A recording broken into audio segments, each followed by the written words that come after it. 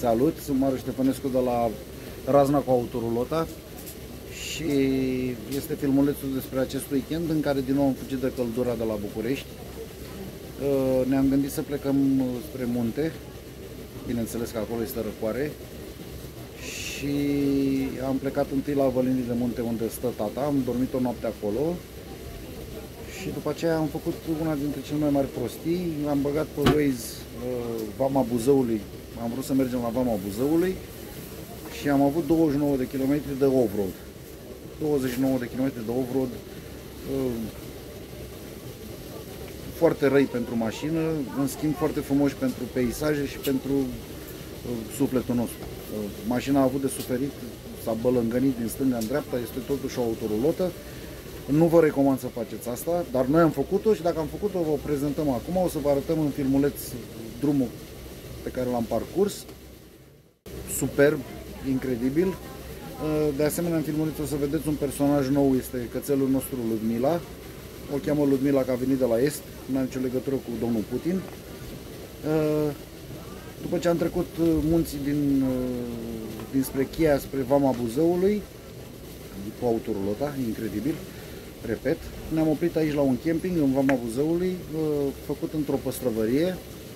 Uh, campingul are 9 locuri de campare uh, pentru autorulote, cum scrie la carte, cu curent electric, cu apă, cu toalete, cu tot ce trebuie.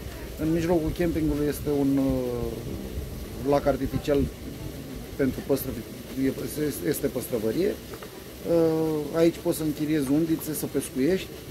Ce pescuiești și prinzi, te duci la proprietar, plătești peștele pe care l-ai prins, proprietarul ți-l uh, curăță, îți aduce la autorulotă uh, ce vrei să pui pe grătar în seara respectivă, ce vrei să iei acasă ți-l păstrează la congelator, curățat, tot ce trebuie.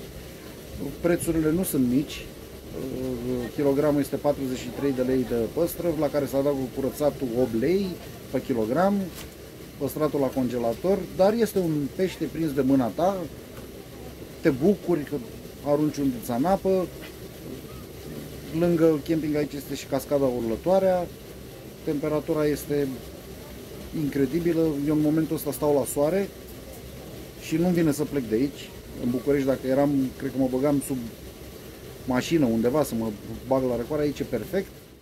Campingul se cheamă Oliver, la iazul din Vamă, Vama Buzăului, județul Brașov. Chiar îl recomand. Extraordinar.